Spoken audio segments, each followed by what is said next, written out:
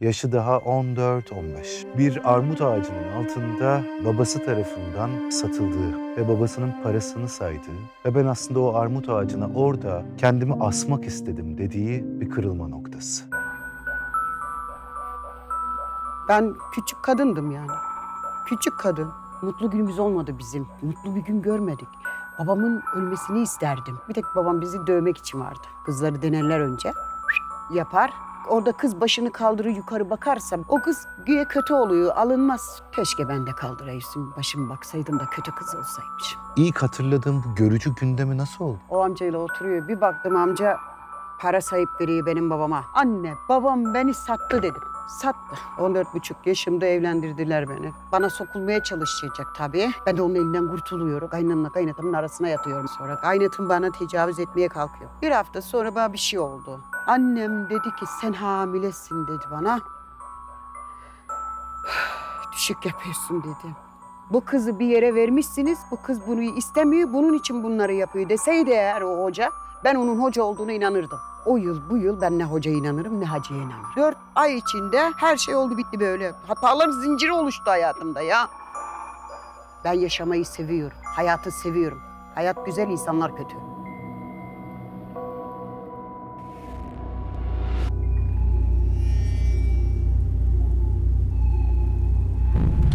Katarsis Ekstra'ya hoş geldiniz hepiniz. Bugün karşımdaki kırmızı koltukta Melek Gökçe var. Melek'le ön sohbetlerimiz oldu.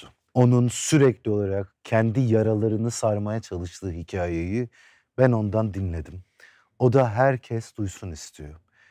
Bir görüntü var gözünün önünde. Yaşı daha 14-15. Kendi yaşadığı bölgenin, köyün, evinin bahçesinde bir armut ağacının altında babası tarafından onun tabiriyle satıldığı çocuk yaşta ve babasının parasını saydığı ve ben aslında o armut ağacına orada, o çocukluğun ortasında kendimi asmak istedim dediği bir kırılma noktası. Sonra bütün hayat o yaraları sarmaya çalışmakla, sarmaya çalıştıkça yeniden kötülük görmekle ya da hata yapmakla geçiyor. Ve aslında bir ömrü babasına karşı öfkeyle geçiyor. Bugün bir çocuk istismarının biçimi olan çocuk gelin olmayı konuşacağız birlikte Melek'le. Hoş geldin Melek. Hoş bulduk Gökhan'ım. Anlatmayı istediğini biliyorum.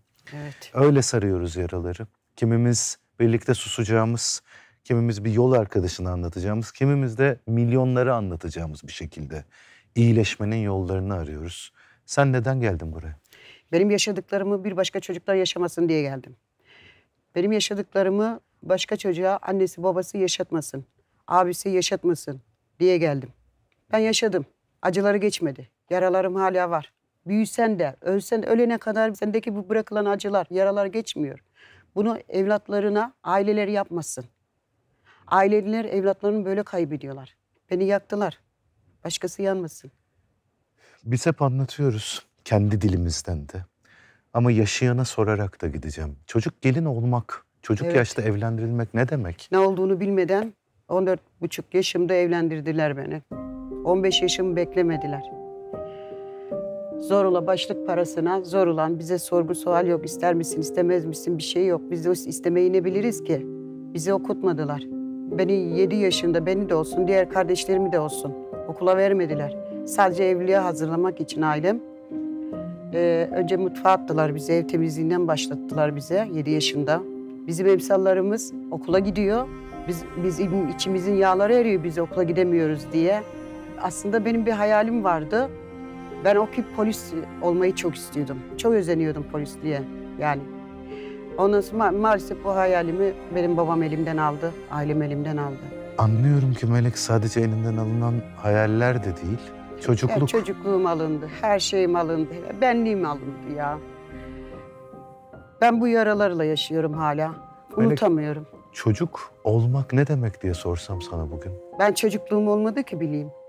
Ben küçük kadındım yani. Küçük kadın. Çocukluğumuzu yaşamadık.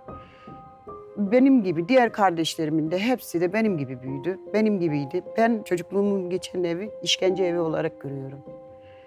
Biz işkence evinde büyüdük. Hatırladığın ilk anılarla beraber ki anlatıyorsun yer yer.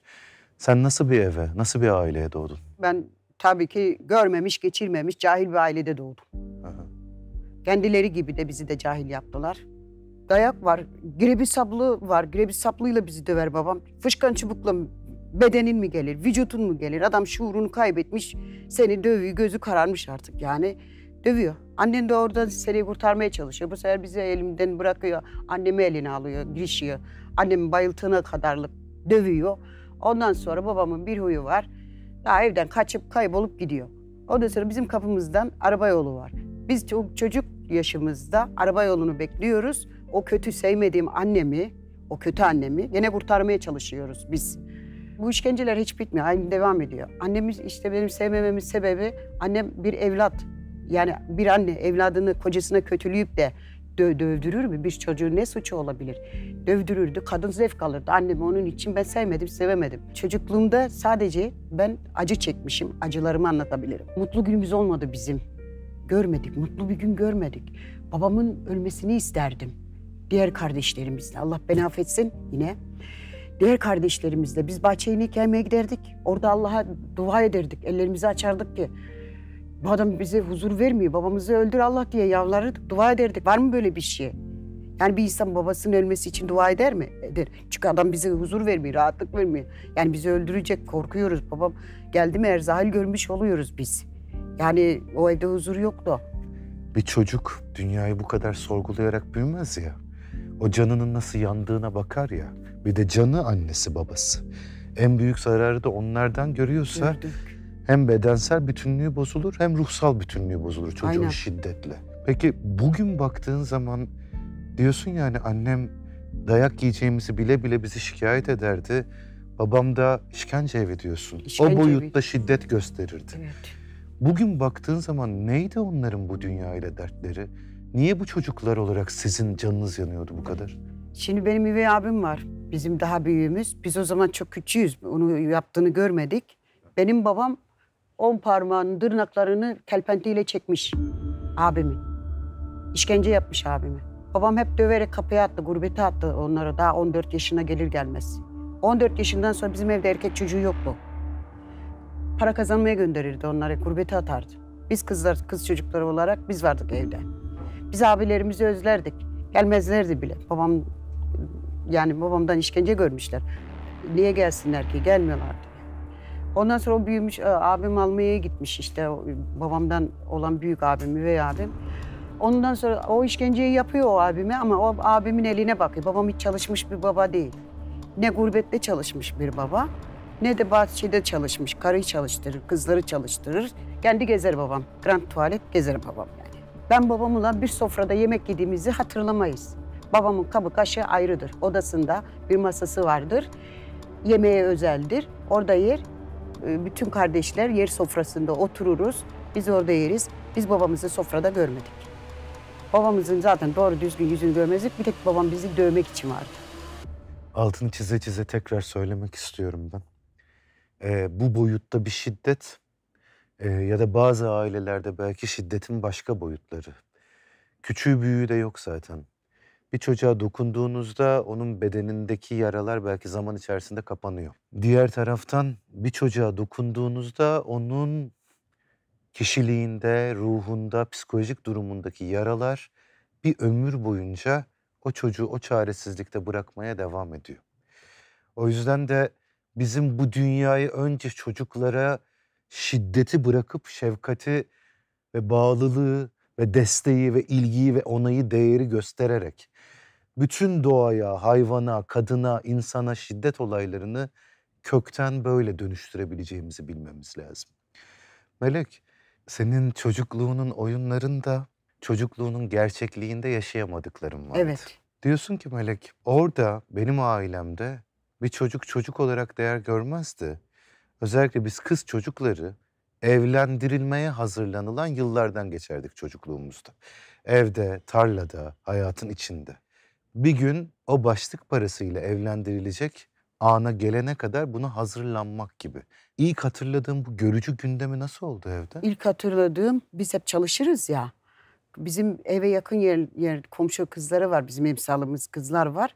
Birbirimize imece usulü biz çalışıyoruz. Annem geliyor. Hemen kolumdan tutar yapışır. Alır hadi eve der. Beni eve getirir. Ne olduğunu anlamıyorum. Niçin eve getirdiğini anlamıyorum. Bilmiyorum yani. Bizim eve gelmeden, yukarı çıkmadan önce kapıda çeşmemiz var. Elimi yüzümü orada bir yıkıyor kadın. Ondan sonra eve çıkarıyor beni. O da misafir dolu erkekli kadınlı. Üstüme başımı da şekil düzen verir. Ondan sonra beni tembeller. Der ki içeride misafir var. İçeri gir. Büyükten başla el öpmeye. Küçükten çık. İçeride bir kalabalık. Öpü öpü bitmiyor. Ben tabii utanç içinde giriyorum. Böyle başım yerde. Kimsenin yüzünü görmüyorum bile. Öyle ellerini tutup öpüyorum, öpüyorum. Sıradan öpüyorum, öpüyorum, öpüyorum. Gidiyorum. Öp, öp, öp bitmek de bilmiyor. O kapıyı çekip gidiyorum. Tekrar çalıştığım yere devam et, etmeye. Ondan sonra gene aynısı olur.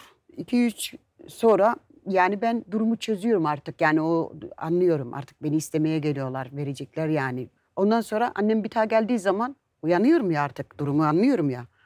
Hemen kaçıyorum. Ama küçüğüm ya. Annem de güçlü kuvvetli kadın. Annem düşüyor peşime yakalıyor beni. Beni kelepçelediği gibi atıyor sırtına. Gene beni eve getiriyor düğüncülere göstermeye. Şimdi biz küçüğüz. Askerden gelmemiş uşaklara yani gençlere kız vermezler. Askerliğini yapmış e, gelen delikanlılara aileleri der ki gidin mahalleyi kapı kapı dolaşın. Kimin kızını beğenirseniz gelin bize söyleyin gidelim size e, onu isteyelim derler. Bir de onlara deneme çekin derler. Kızları denerler önce. Deneme nasıl bir şey? İşte e, şşt eder delikanlı ka- kapıdan geçerken bizi görüyor tarlada çalışıyoruz biz. Yapar. Orada kız başını kaldırır yukarı bakarsa bu kim diye sağına soluna bakarsa o kız güya kötü oluyor alınmaz. O kız evde kalır daha başkası da istemez o kızı. Ben de başımı kaldırmıyorum. Bacım kaldırıyor başını sağına soluna bakıyor. Ben o arada o öyle bir şey olacağını bilseydim ben de kaldırırdım başımı kaldıramazdım. Çünkü niye? Bu işaretleri bize babam da yapıyordu. E, Kaldırmadım başımı çünkü dayak yiyeceğim. Dayak yemekten korkuma yani babam san, sanıyorsun yani. Keşke ben de kaldırayım başımı baksaydım da kötü kız olsaymışım. Başlık parasını o zaman o dönemin başlık parası Gökhan'ım şöyle nam. O babanın namı şanı. Kimin kızı çok daha büyük başlık parasına giderse o babanın o namı oluyor, şanı oluyor, şerefi oluyor diye. Bize bir şey soran yok. Sorarken aslında gerçekten bir toplumun bütün kadınlarının, aslında çocuklarının onlara ait olmayan utancıyla soruyorum. Çünkü bu utanç senin ya da bunu yaşayan kadınların değil. Buna olanak sağlayanların, buna göz yumanların, e, bir çocuğu para karşılığında verebilecek kadar e, belki gerçekten vicdanen de kör olmuş olanların utancı ama. O gün geliyor. Sen görüyorsun babanı orada. Orada ne gördün sen? Bunlar başlık parasını anlaşmışlar. O amcayla oturuyor. Bir baktım amca para sayıp veriyor benim babama. Babam parayı aldı. Eyvah dedim. Ben yıldırım gibi anneme koştum gittim. Annem çalışıyor Bağda Bahçe'de çalışıyor.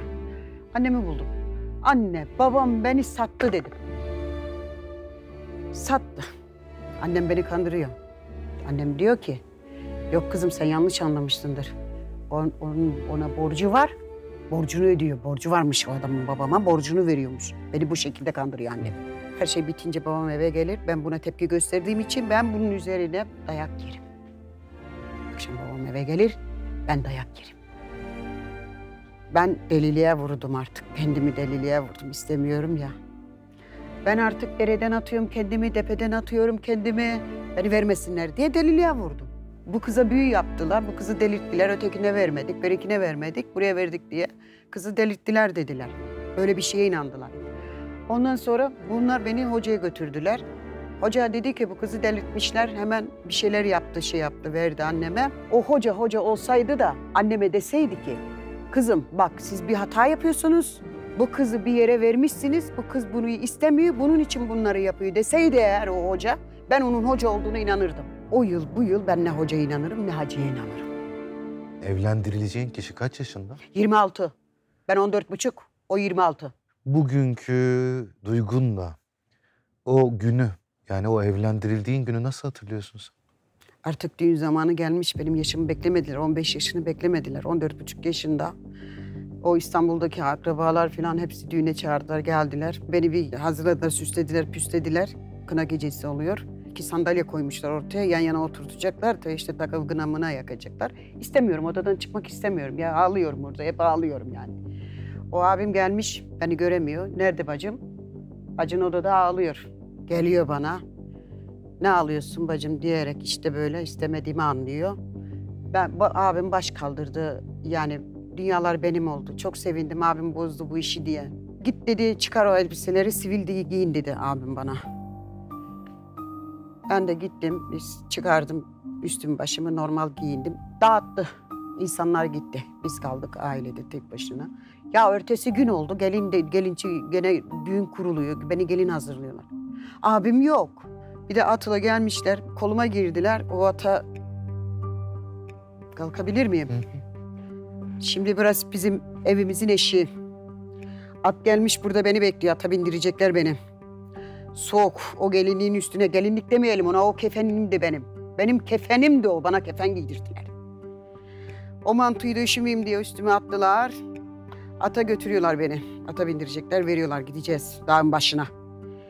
Ben orada bir yemin ettim ki... içimden Gökhan'ım, içten kalpten bir yemin ettim ki... O ki dedim, beni dedim siz veriyorsunuz ya dedim. Baba ben de senin şapkanı yere düşürmesem dedim. And içtim ya. Yemin ettim, bu andımı yerine getirdim. Allah da bana bu durumda yardım etti.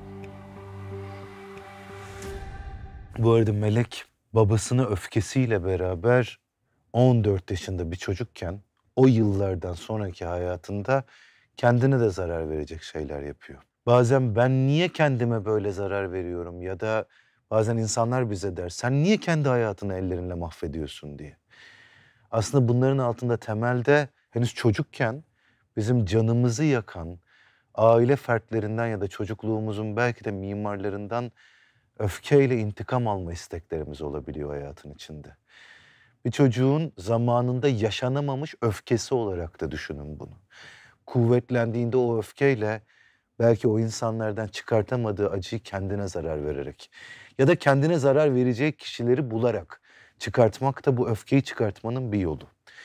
Bu bir. ikincisi seninle beraber söyleyeceğim.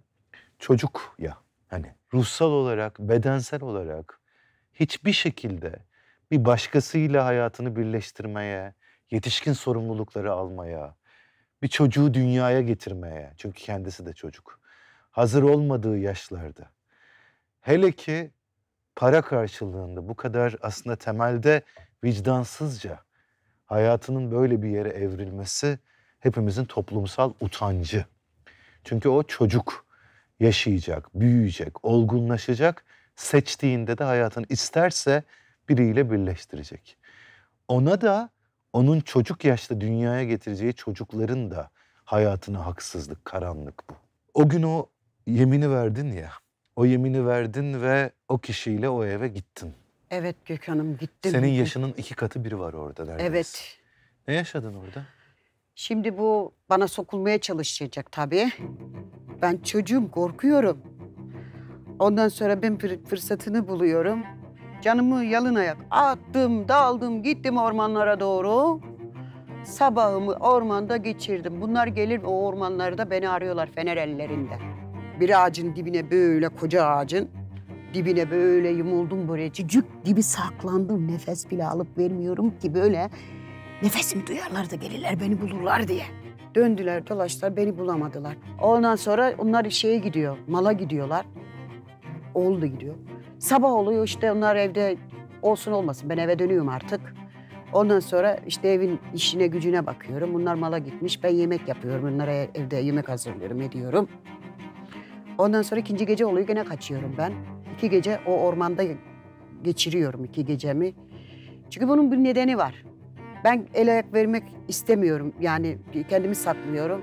Annem gelecek ya o köylerde adetmiş. Bir yatak görme usulü varmış o köylerde. Onu görmeye gelecekmiş. Ben annemi bekliyorum. Anneme diyeceğim ki anne beni götür yalvarıyorum. Annem geldi üç, üç gün sonra annem geldi.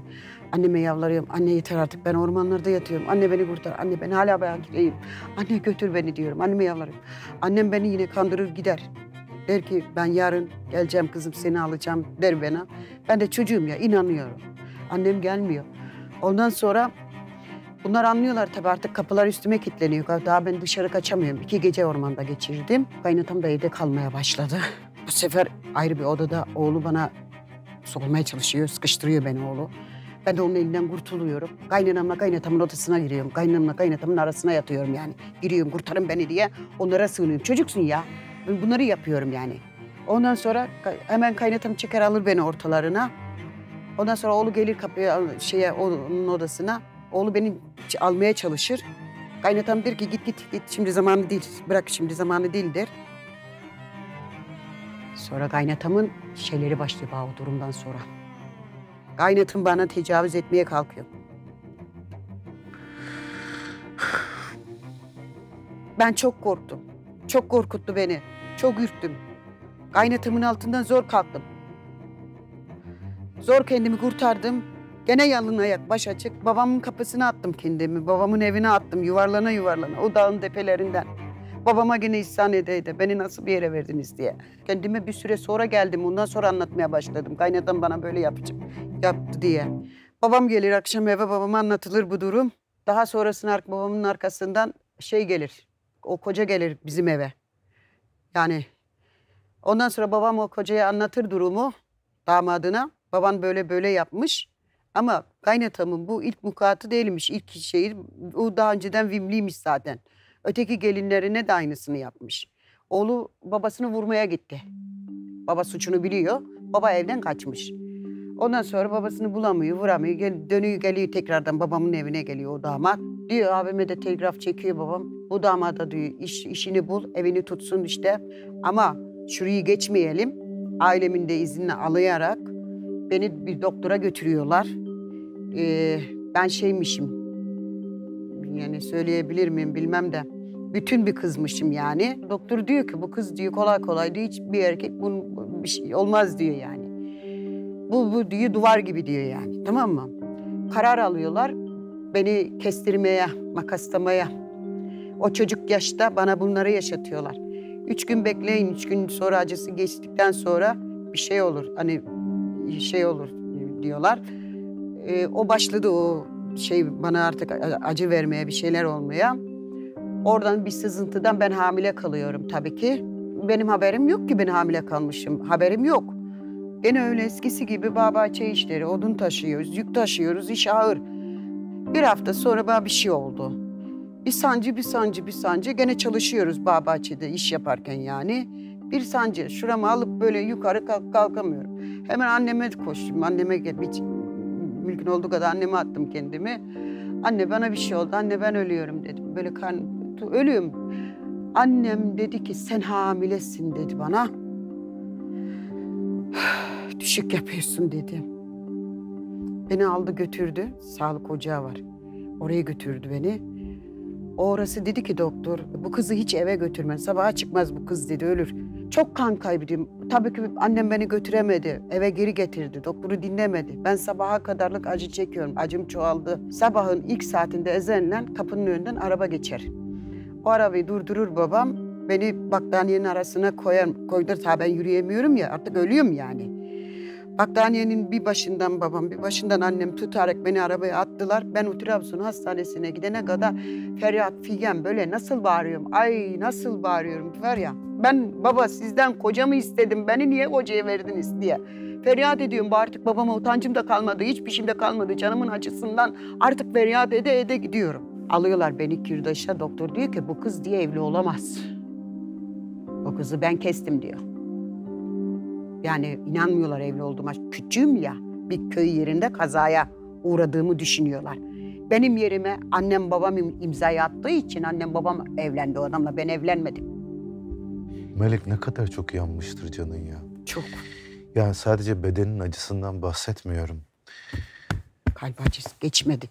Ne kadar Geçmiyor. çok yakmışlar canını. Ya bazı şeyler gerçekten de hayat içerisinde o duyguyla beraber kalıyor. Çünkü açtıkları yaraları saracak insanlar da olmuyor ya artık. Bizim onu hayatımızın içerisinde kendimizi iyileştirerek sarmayı bulmamız gerekiyor ama bazı acılar çok büyük oralarda. Sen bu evlilikte ne kadar kaldın ve nasıl ben bu çıktın? evlilikte durmadım. Yeminim vardı. Hı hı.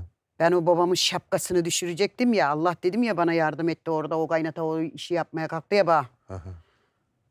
Bana yol açıldı. Küçük yerde bırakıp kaçamazsın. Bana yol açıldı, yolum açıldı. İstanbul'a geldik ya. Çalışmaya başladık. Bir e, hep beraber ailemle aynı bir küçüğüz ya ayrı ayrı işlerde çalışamayız. Biri birine hep işe alınıyor. Aynı fabrikada çalışıyoruz biz. Bir adamın birisi beni takip edip duruyor. En sonunda kendini fark ettirdi bana.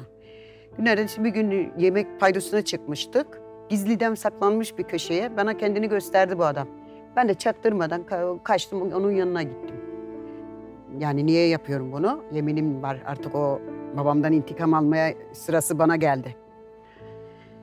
Şimdi gittim adam bana dedi ki listeye çıkmamı istedi. Ben bir hasta oldum yalandan. Ondan sonra listeye çıktım hastaneye gittim. O da geldi hastanenin bahçesine. İki konuştuk. Adam tanımam bilmem etmem. Ondan sonra adam bana kaçma teklifi yaptı. Ben de kabul ettim. Bana bekarım dedi. Ben de inandım. Ben benim yaşım küçük ya.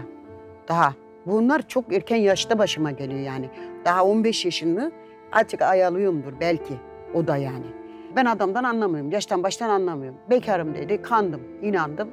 Ben de zaten intikam uğruna yapacağım bu. Kaçacağım yani. Hiç kimseye bir şey demeden gene ha üstümle başımla çıktım ev. Gitmedim işe o gün.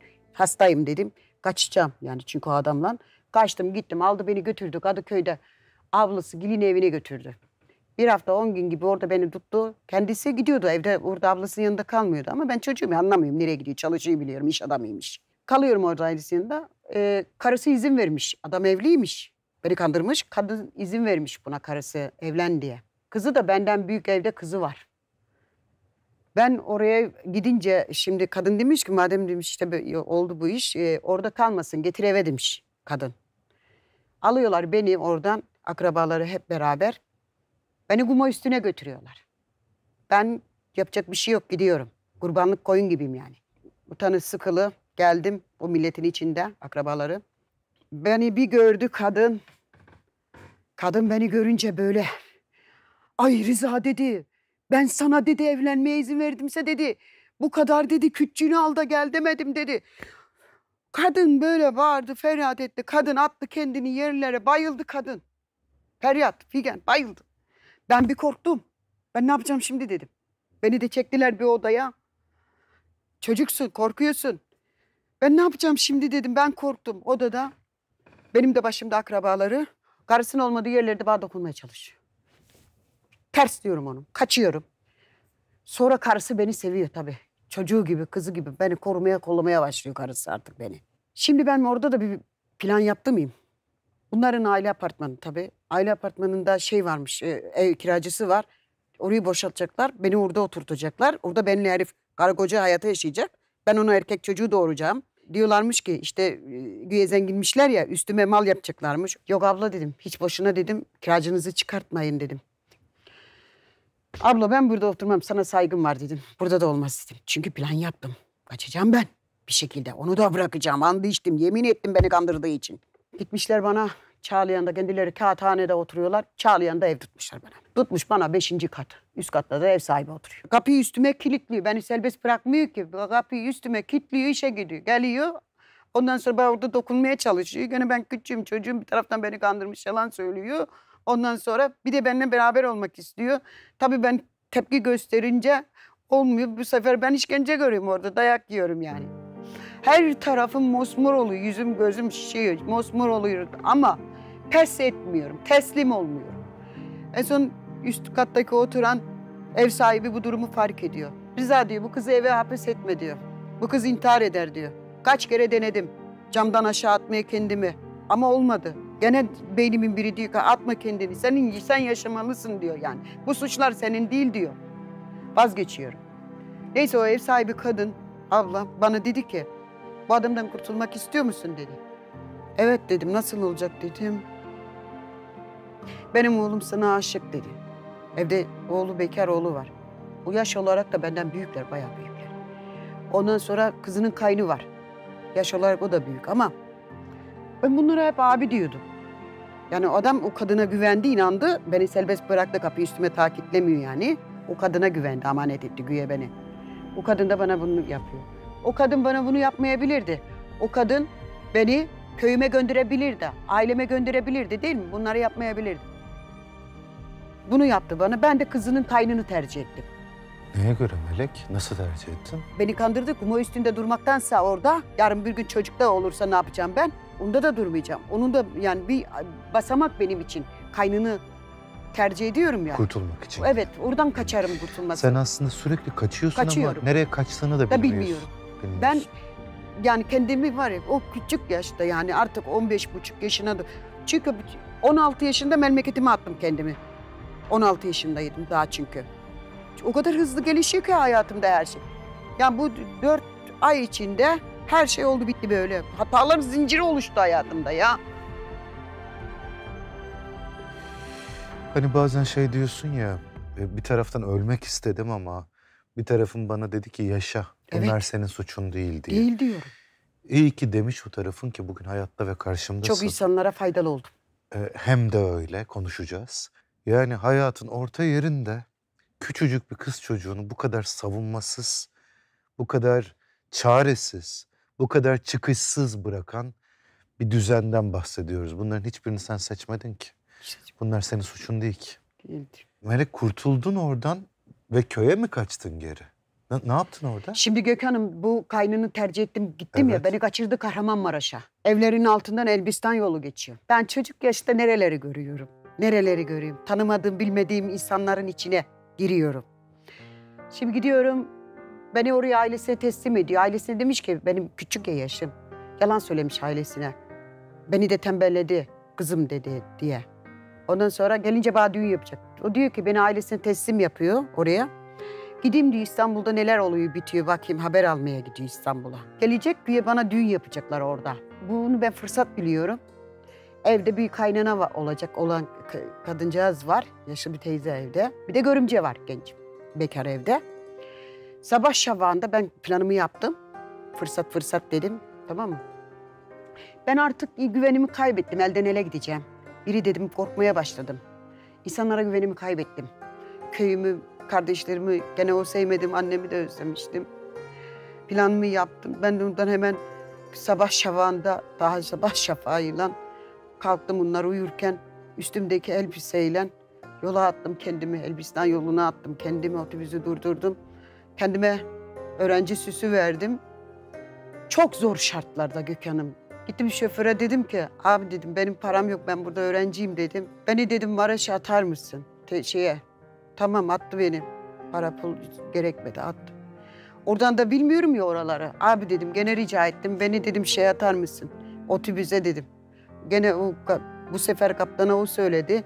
Bu kızcağız dedi öğrenciymiş dedi burada. Artık beni şeye Trabzon arabasına atılıyorum. Param pulum yok. Ama o yıllarda insanlık var. Durumunu anlatıyorsun. Gideceğin yere götürüyorlar seni yani. Allah razı olsunlar onlardan da. Sağ selim ben köyüme gittim. Ne zor şartlarda gittim. Bir ben bilirim bir Allah. Köyüm demişim. Ailem dedim, köyüm dedim, toprağım dedim. Dağı taşı deldim gittim. Aç arık geldim oraya. Cesaret edip ailemin evinin kapısında inemedim o dolmuştan. Komşunun kapısında indim bilgi alayım dedim. Bir baktım abim köydeymiş. Komşuya kızına dedim ki anneme dedim gizlice dedim Melek geldi. Melek abla geldi bize çağır dedim gizlice kimse duymadan dedim. Annem gelmiş geldi koşa koşa geldi annem. Tabii bu dönemde bulunmuyor. Bu arada dört ay geçiyor işte dört ay kaybım ben. Ondan sonra artık bunlar benden ümidi kesmiş. Birisi öldürmüştür, atmıştır bir kenara öyle düştüler. Orayı burayı aramışlar, bulamamışlar beni. Ben satılmamışım yani. Hep araştırmışlar yani. Ondan sonra annem beni görünce orada annem gene her zamanki yaptığı gibi ay kızım bana annem sarıldı böyle beni bırakmaz. Kadın beni bırakmaz. Ben annemden bilgi alırım. Abim köyde. Anne ne olur dedim beni bırak. Anne ne olur beni öldürürler beni götürme anne ne olur beni öldürürler anne götürme anneme yalvardım yakardım. Ben kızımı bırakmam dedi annem beni kelepçelediği gibi her zamanki yaptığı gibi kadın beni sırtına aldı götürdü eve seni seni öldüren beni de öldürsün dedi götürdü beni eve. Acı haber tez duyulur. O küçük kardeşlerim gidiyor abimle Babam elma topluyor bahçede. Müjde vermeye gidiyorlar Melek ablam geldi diye. Küçük kardeşlerim. Abim zıplayıp geliyor. Daha ben kapıdayım. Açarık gelmişim. Dağı daşı delmiş gelmişim memleketim demişim. Ya bana bana bir soru sorun. Ben ya ben, ben bana bir soru sorun ya. Beni yargısız infaz. Ya abim bana gelir gelmez daldı yargısız infaz etti beni. Beni artık döve döve döve döve üstümde ne elbise kaldı ne bir şey kaldı. Ben artık yerlerde sürünüyorum. Kaldım belimi kırmış her yerim kötü. Yoldan geçen yolcu arabaları duruyor beni kurtarmaya çalışıyor. Adam abim canavara dönüşmüş. Kimse beni elinden alamıyor. O arada beni bakıyor dayaktan öldüremiyor. O köyde o yatakların altında çifter çifter tabancalar olur. Hemen o merdiveni zıplıyor abim tabanca almaya gidiyor ya. Tabancayla vuracak beni artık. Oradan komşulardan dedi ki eyvah dedi saniye kızı ve oğlan öldürecek dedi. Tabanca almaya gitti dedi. O arada beni komşulardan birisi sırtladı mı?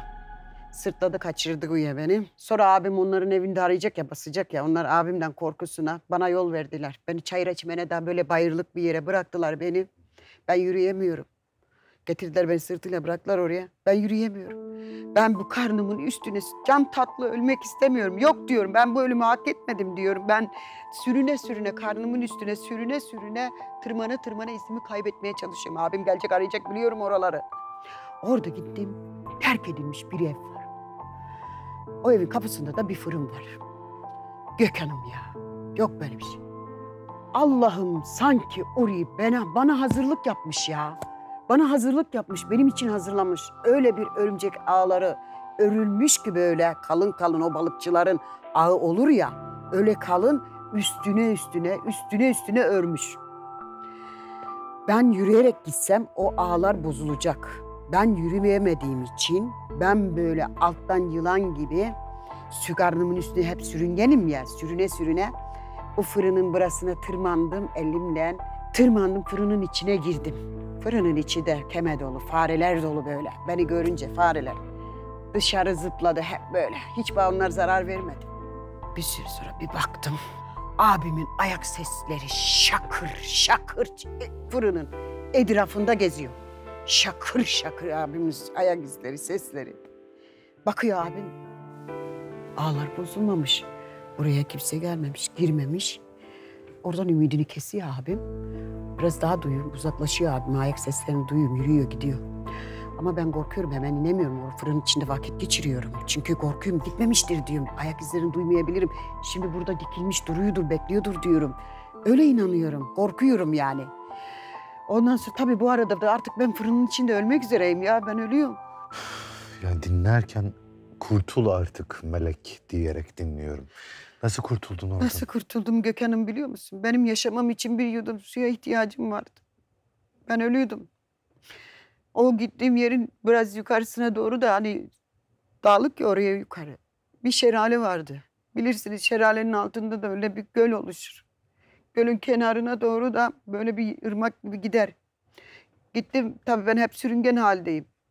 Geldim o ırmağa, ırmaktan böyle böyle sürüngen halde saçımı, başımı, yüzümü, gözümü böyle eğildim. Yudum suyu içtim. Yüzüm, gözümü bandırdım suya. Kalktım sürüne sürüne sürüne yolun yola attım kendime. Düştüm yolun kenarına. Ama nasıl bir haldeyim biliyor musun? Bütün hayallerim görünüyor.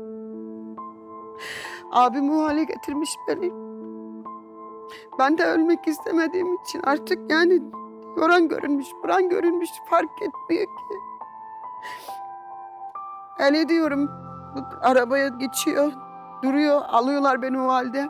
O arabanın içindeki bu teyzeler, o amcalar hepsi iniyor. O benim hayalleri yerlerimi kapatıyorlar. Kimi kerşanını peşten balını çıkartıyor, ceketini çıkartıyor, üstüm başımı kapatıyorlar. Alıyorlar beni arabaya.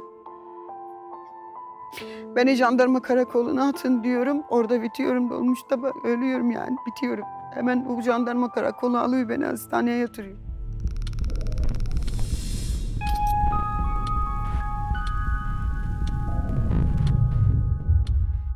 Burada e, aslında kameraların önünde anlattıklarımızın yanında bizim ara sohbetlerimiz var. Konuklarımız, kıymetlilerimiz Melek de seçmediği bir hayatı bugün seçer hale nasıl geldiğini, kendi yaralarıyla ne yaptığını anlatıyor. Her şey kamera önünde olmuyor.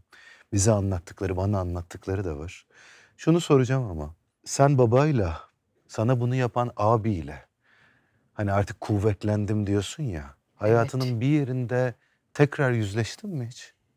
Hepsiyle yüzleştim. İşte Allah bana öyle bir güç verdi ki benim yıldızım parladı böyle. O kocayı boşadıktan sonra elim para tuttu. Ondan sonra ailem etrafımda doldu. Ben şimdi o baba işkence evinden çıktıktan sonra koca evine işkence evine geldim. Düşmüşüm farkında olmadan bir işkence evine düştüm. Yani ikinci işkence evimde eşimin ikinci yaptığım evlilikte işkence evine düştüm. Melek o evliliği yaptığında kaç yaşındaydın? O evliliği yaptığımda da daha 16 buçuk yaşındaydım. Yaşım tutmuyordu. Kimliğimi bile göndermemişlerdi. Kaçmıştım buna ben. Çünkü niye kaçtım? Bu kaynanam benim, bu kocamın çocuklarımın babası.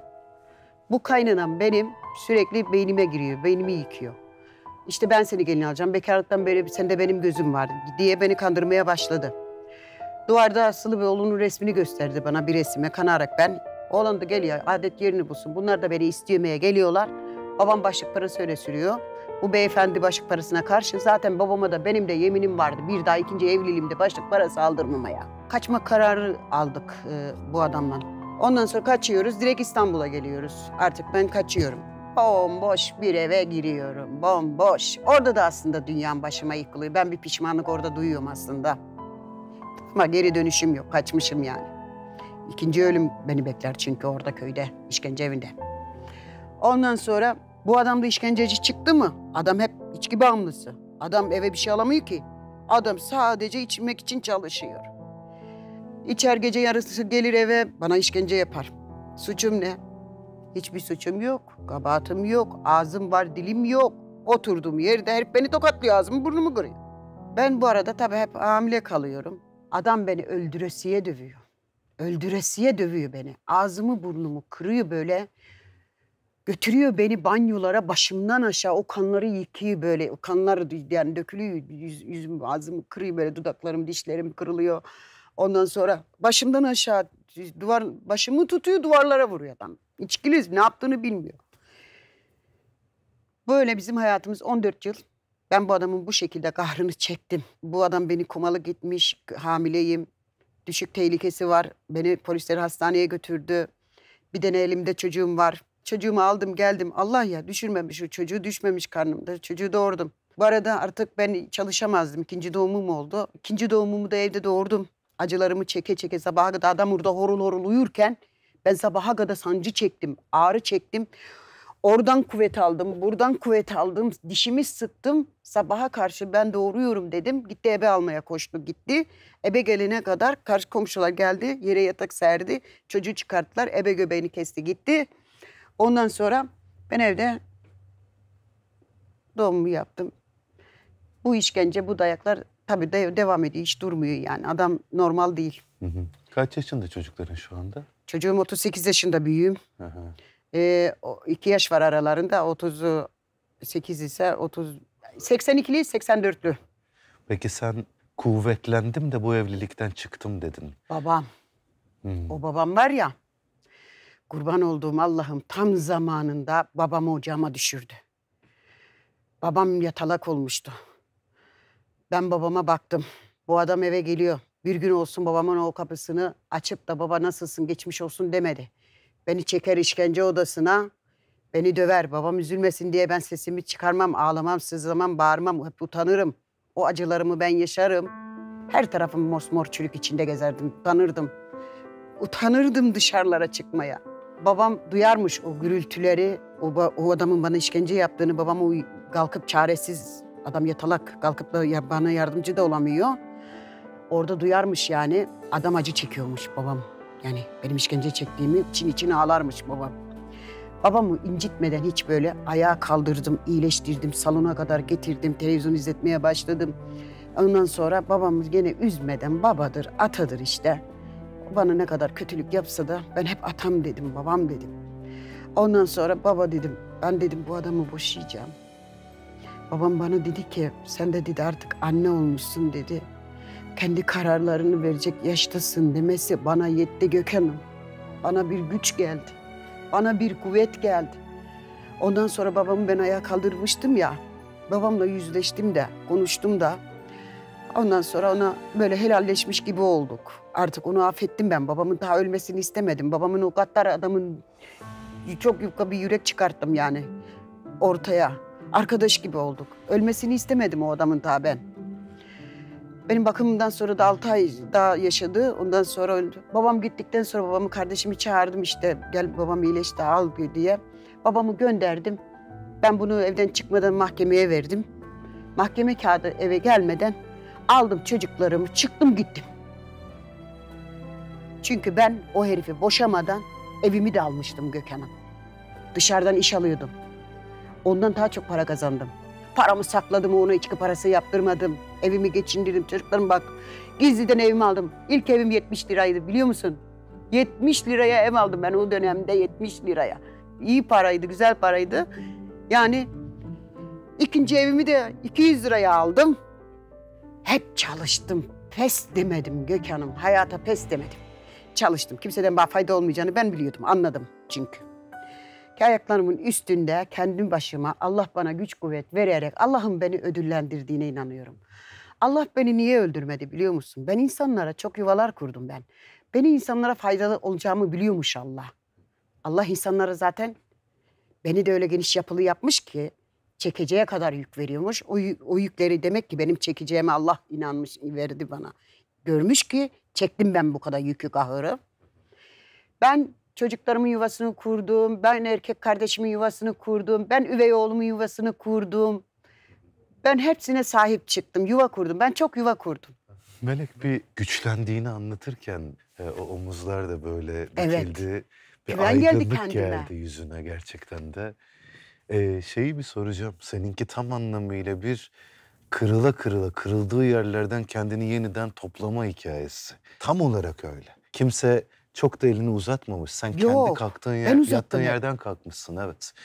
E, bugün geldiğinde tüm bunlarla beraber bu yaşında bu hayatla ilgili ne hissediyorsun? Senin bu hayattan aldığın gerçekten öğreti ne mesela? Ben bu kadar acılara rağmen ben yaşamayı seviyorum. Hayatı seviyorum. Hayat güzel, insanlar kötü. Ben erkeklere güvenimi kaybetmiştim. Beni hayata birisi bağladı. Ben mesela o bir insan var hayatıma girdi. O insan beni hayata bağladı. O insan beni dört sene bekledi.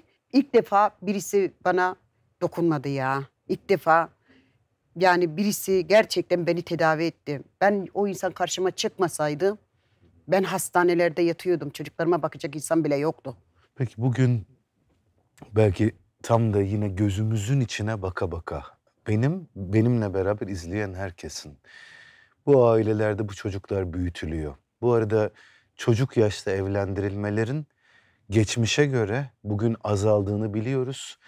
Bitmesi için de konuşuyoruz. Bizim harika geleneklerimiz var kültür olarak. Çok. bu hastalıklı, zorlayıcı, alışılageldik, ezberlenmiş şeylerden kurtulalım artık. Çocukların evlendirilmesinden, başlık parasından, çocuk istismarının bu biçiminden. Ama ben bir uzman olarak konuşurum, bir programcı olarak konuşurum, bir başkası anlatır ama senin anlattığın gibi olmaz Melek. Gökhan'ım ben zaten onun için buradayım. Ben artık kendim için değil, gelmiş geçmiş ne güzel ayak, ayakta kalmışım. Affedersin hiç kötü bir şeye düşmemişim. Güç savaşımı vermişim. Ben zaten bugün buradaysam zaten bu aileler için buradayım. Bu yavrular için buradayım. Söyle lütfen. Ben yandım yavrular yanmasın. Bu ailelerden ricam lütfen ricam sen ne olursunuz çocuklarınıza çocuklarınızı en azından 25 yaşına gelene kadar evlendirmeyin. Bir de bunları istediklerine sevdiklerine verin. Bunlara kendiniz evlilik yaptırmayın. Çocuklarınıza sevginizi, şefkatinizi esirgemeyin. Sevin onları. Eğer çocuklarınız bir gün siz yaşlanacaksınız. Çocuklarınızdan sevgi, şefkat, bakım isterseniz çocuklarınıza şimdiden iyi davranacaksınız ki ne ekersek onu biçeriz. Aileler lütfen, anneler, babalar size sesleniyorum. Ben yandım. Ev, ne zorluklarla bir evlat kolay mı büyüyor ya? Ne zorluklarla büyüdük icabında ama ben çok zorlukla büyüdüm. işkenceyle büyüdüm. Ama hiçbir aile işkenceyle de büyütmesin evlatlarını, sevgiyle büyütsün. Ben evlatlarımı sevgiyle büyüttüm. Ben evlatlarımı kendim yaşadığımı, ailemden gördüğümü ben evlatlarıma yaşatmadım. Çünkü karşıydım, şiddete karşıyım. Ben hala bir şiddet sesi duysam ben tüylerim tiken tiken oluyor. Görsem duyarsız kalamıyorum. Gidiyorum müdahale yapıyorum. Duyarsız kalamıyorum yani. Kimse de kalmasın. Hı hı. Seninle beraber de söyleyelim. Çocuğun yaşam hakkı, Elinden alınmasın. evet çocuğun evi aidiyetidir. O evde öğrendikleri üzerine yeni evler, yeni hayatlar inşa eder. Yine çocuğun eğitim hakkı, e, kız erkek ayırmak kadar vicdansız e, Evet. ya da gerçekten vicdanın bir şekilde köreldiği bir düzenden çıktığımız bir dünya içinde konuşuyoruz en çok. Eğitim hakkı, yaşam hakkı, eşitlik hakkı bunları beraber aslında melek gibi hayatını kalabalıklarla paylaşmak isteyen insanların gücüyle yapıyoruz. Herkes bunu yapmak zorunda değil. Ama melek artık hazır olanlardandı ve çocuk gelin olmayı ve elinden alınmış hayatı bize bugün öyle anlattı. Bir de çocukların yaşam hakları ile ilgili bir şey daha yapıyoruz Melek. Ee, SMA hastası çocuklarımız var. Evet. Her programın sonunda valilik onaylı kampanyası olan çocuklarımızın kampanyalarından bahsediyoruz. Evet. Bugün en çok çocuğu konuştuk. Çocuğun haklarını konuştuk. evet. Konuşmalıyız Ee, da. Konuşmalıyız da dediğin gibi. Ela Beyazgül dünya güzeli çocuklarımızdan bir tanesi. Evet. SMA tip 1'i yaşıyor. Tedavi olması lazım. Aile bir kampanya başlattı. Valilik onay verdi ve kampanya gerilerde şu anda. Hep beraber gerçekten kendi desteğimizle, cümlelerimizle, dualarımızla Amin. ve bütçemiz yetiyorsa maddi desteklerimizle beraber Evet.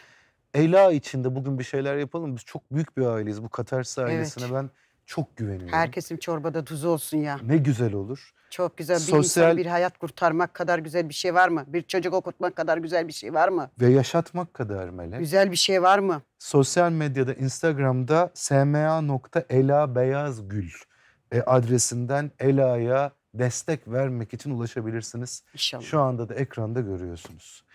İyi ki geldin. Teşekkür ederim. Ben de çok teşekkür ederim Gökhan'ım. Sağ ol. Sana uzun soluklu programlar diliyorum. Teşekkür ederim. Sağ ol.